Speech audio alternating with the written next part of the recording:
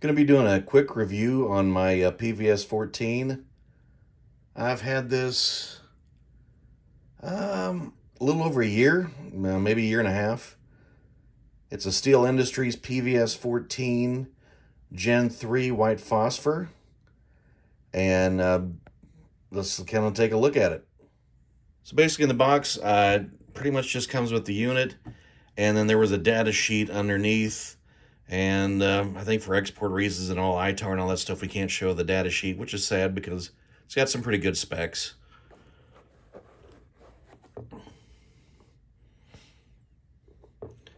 And cap comes off. Uh, this one doesn't have, I mean, it's got a hole for the lanyard, but doesn't have one that's tied to it. it does have the pinhole in it.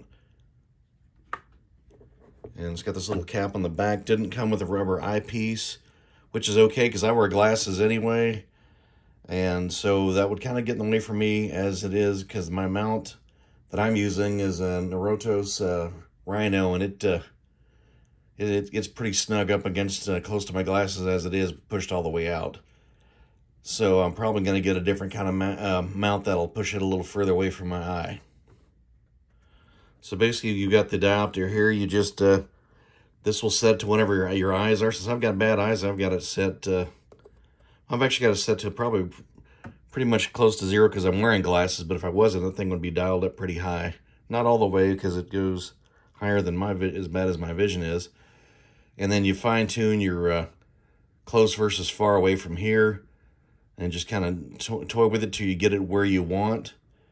Uh, if you really get it uh, fine tuned for far distance, you're going to have trouble reading, you know, looking at stuff within about three feet of you. It's going to be a little fuzzy, but you just kind of dial it in from there. Um, this unit also has the uh, manual gain adjustment here for brightness, uh, which really is handy because um, I had to turn it way down when filming with my iPhone. It was it came through really bright, and unfortunately, the the the phone doesn't do it justice. It's definitely much clearer and crisper to the naked eye than versus uh, going through the phone. Is what it is. So anyway, you've got the hole here where you attach your J-arm and these two contacts right here. Uh, there's little connection points right here. Um, mine doesn't seem to work. Uh, it's probably because this is a surplus uh, J-arm and I got it pretty cheap off of eBay. I think like 40, 50 bucks. And so these may just be worn out. Uh, it shouldn't be this since this is new manufacturer. Um, you got your settings here. You're, you're on, you're off. And then if you pull it out and twist it, it kicks on the IR illuminator, which does a pretty good job of lighting things up. Um, on uh, the rifles I use with, both of them have uh, Surefire Vampires, so that gives me a lot more light. But if you're running without that and you're just walking around with it, uh, the illuminator can come in handy. Just know that if someone else out there is running night vision as well on they can see that. So um, if you're in a position where you don't want to be seen, don't turn on your illuminator.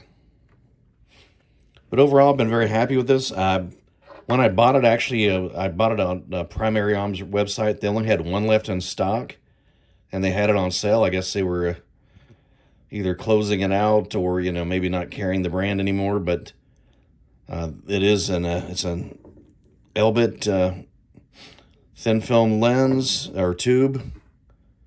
So it's uh, it's a good quality tube. You know, maybe not as high end as the uh, L3 Harris's, but it is a Gen 3. So it's it's good quality, and I've been very happy with it so far. Uh, no issues to, to think of. Um, battery life's been good. I'm still running on the original battery, which means I haven't been using that too much. I've maybe only got a couple, you know, three or four hours through it because, you, you know, I haven't been using it for lengthy periods of time. I might go out and use it for 10, 15 minutes here and there. So, uh, you know, nothing too lengthy as of yet. But uh, so far, I've been very happy with it. Uh, keep, keep in mind, if you're running a, a helmet and you add a uh, night vision, you're going to want to probably put a counterweight on there of some kind. Uh, you know, it does add a little extra weight, but man, it makes a difference. You're not having to uh, kind of tilt your head back. Uh, it's more comfortable wearing it that way. All right, we'll take a look. I just kind of took it outside and uh, just kind of ran it around, uh, just looking at things, just to get an idea what it looks like uh, when it's operating. Um, again, the unfortunately, the phone doesn't do the greatest job of representing its uh, image quality, but you get the idea.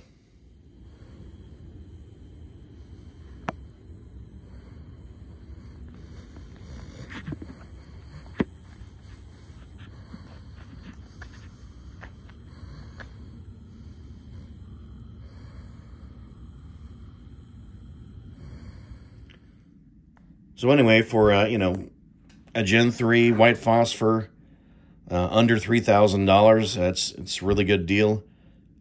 I know a lot of the other ones out there that are a little more expensive, they come with all the extra um, pieces and, you know, you've got spare parts and all that, which is great.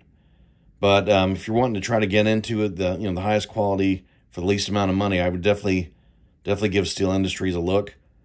Um, you know, this is very bare bones setup, but again, um, it works for me, and you know I can always get uh, as I find you know get the other things I want if I want other accessories like you know want to get uh, extra sacrificial lenses or whatever I'll, I can go out there and I can find those online. So appreciate you guys watching. Um, if you enjoyed the video, please like it um, and subscribe. I don't have too terribly many members right now, but I'm subscribers. I'm really trying to get that number up. Uh, I'm going to try really cranking out a lot of uh, uh, contact, uh, content this year. Sorry about that.